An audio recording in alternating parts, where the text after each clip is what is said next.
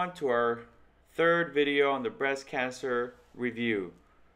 As you can see, today we'll discuss the BI-RADS 5 and we'll also review some other concepts. So let's get started. For breast cancer risk models, we know that we have different models and the main thing to know is that we have models like the Gail model which are older but very validated.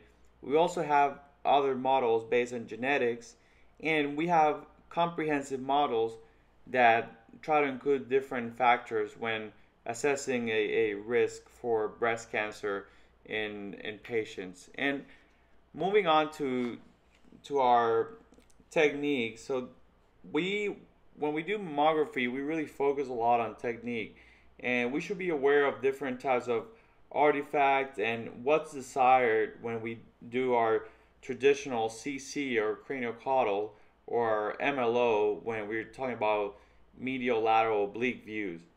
So in essence, we want to ma uh, maximize the resolution and we want to minimize the motion or the um, blur artifact. So a big thing for this is going to be compression. And compression has a lot of benefits from the physics standpoint in that it will decrease dose, it will in, in, improve our, our resolution, and really the, the main uh, problem with compression is obviously patient discomfort.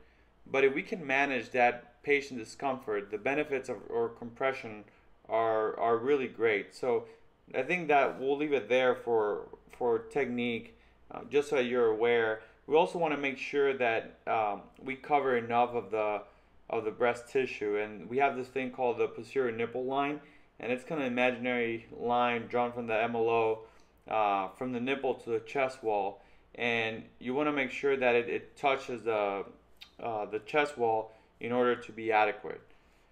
Jumping into the BI-RADS category, let's start by reviewing what all the BI-RADS terminology means. So, um, first of all, we're dealing with BI-RADS uh, 5, but it's really BI-RADS 5th edition, right? Because we don't want to confuse it with the actual BI-RADS 5 category for breast cancer. When we do screening mammograms, we expect to identify about 3 to 8 cancers per every 1,000 mammograms.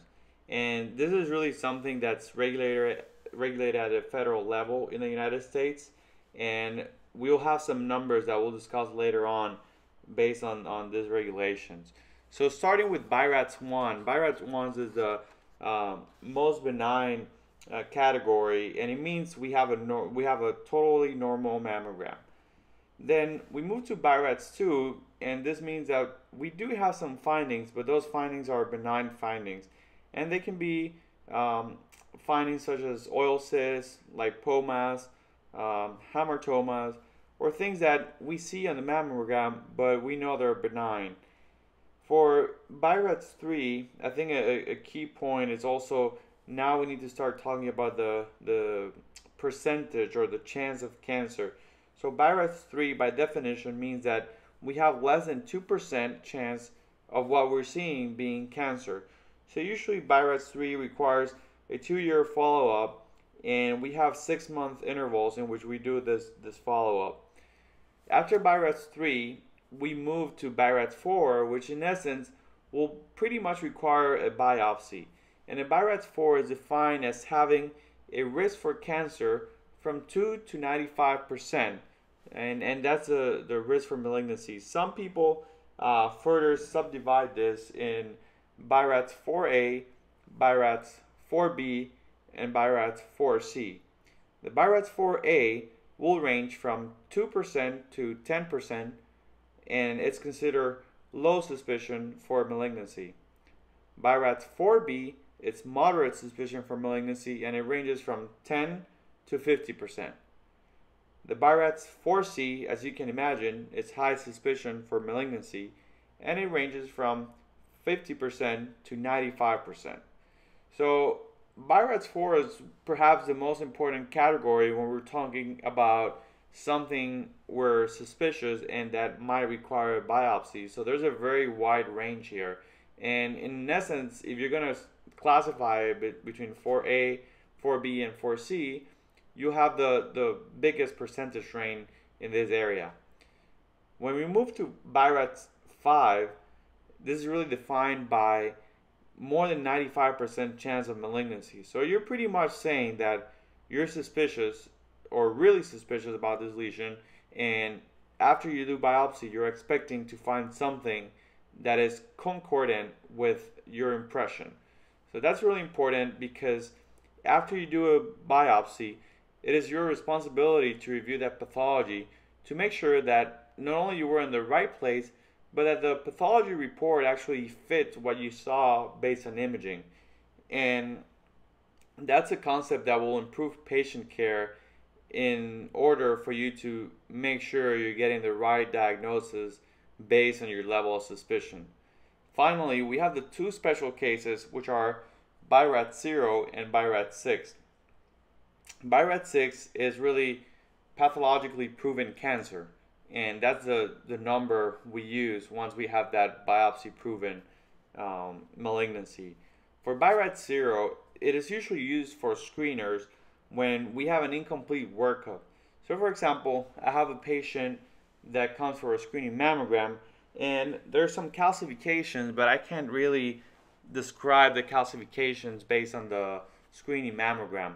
So I'll probably recommend spot mags and for for me to do that, I'll place the patient in a BI-RADS 0 category and bring the patient back for the additional views. Also, for a patient that you think might have a mass, you can use BI-RADS 0 and then move to ultrasound to further assess that lesion. So it is important to know that BI-RADS 0 and BI-RADS 2 are probably going to be the most common BI-RADS category used when doing diagnostic mammograms. So after that brief introduction, let's move on to the actual BI-RADS lexicon and what it means to use the BI-RADS uh, category or the BI-RADS descriptors for everything. So starting with mammography, we know that we want to describe the four main breast compositions, whether they're predominantly fatty, whether they have fibroglandular density, whether they're a little bit heterogeneous or whether they're extremely dense. So all those four categories, we must place our patient in one of those. If we see a mass, we want to describe a mass based on shape, margin, and density. When we talk about shape, we only have three keywords that we want to use. So it's either oval, round, or irregular.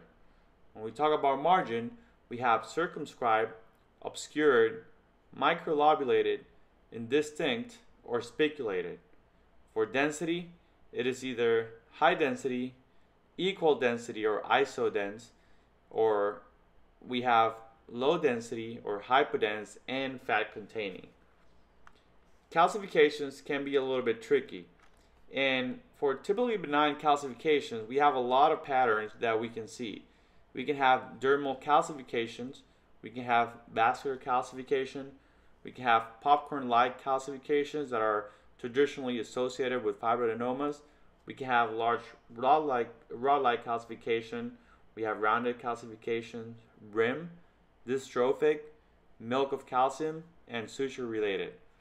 For the suspicious morphology, we'll have amorphous, coarse, heterogeneous, fine pleomorphic, which is pretty suspicious, and fine linear or fine linear branching, which is also suspicious. Distribution goes from diffuse, regional, grouped, linear, or segmental. And in this case, I want to emphasize that linear or segmental are probably the most suspicious of all the distributions. And the reason for that is that most cancers start in the duct. And um, when they start in this single duct, they will acquire this linear or segmental distribution. That will be the most concerning one. Also, when we talk about mammograms, we want to talk about architectural distortion. We want to talk about asymmetry and asymmetries are involved in four different categories or four different descriptors. In asymmetry, you can have a global asymmetry, a focal asymmetry, and a developing asymmetry. For lymph nodes, intramammary lymph nodes are usually located in the outer quadrants. So you'll see we have some danger zones that while we might have a lymph node, we really need to investigate further just to confirm. While we have a lymph node in the outer quadrant, uh, we know that's fairly common. However, we also know that that's a site for cancer, so we have to be careful when assessing lymph nodes in general. And you'll see here we have associated features and location of lesions that are also additional components of the BI-RADS category. Moving on to ultrasound, we have that some other keywords that will be similar, but all others will be different. So we do tissue composition between homogeneous background, uh, consistent with fat, homogeneous background architecture, but more fibroglandular. We have heterogeneous background architecture, and then if we have a mass, we also describe it based on shape. In this case, orientation, whether parallel or not parallel, will be important. Um, that's why it used to be described as uh, taller than wide. We also describe the margin, and you'll notice that we really care about whether it's circumscribed or not circumscribed. If it's not circumscribed, then you have four different types that you can uh, select to describe this, whether it's distinct, angular, microlobulated, or spiculated. Echo pattern, although not necessarily that helpful, is also described as part of the BI-RADS. The posterior features, what it means is the ultrasound physics, depending on what type of tissue you have in front of it, after the ultrasound signal, you either have posterior acoustic enhancement or posterior acoustic shadowing. And that's another component of our description of a mass when seen on ultrasound. When we see calcification, which we can, although it's not optimal on ultrasound, we also describe them using the BI-RADS lexicon. Finally, we have associated features that we might include in an ultrasound report, and we have special cases in which common ones are cluster microcysts, or when we're talking about lymph nodes, in which we see a hypoechoic cortex and a hyperechoic uh, hilum. Also, we like to see some vascularity within the hilum of this lymph node when we're talking about ultrasound. So I think this video summarizes a lot of concepts and gives you a good introduction to what BI-RADS 5 is and or BI-RADS 5th edition is and why we want to use it in order to be consistent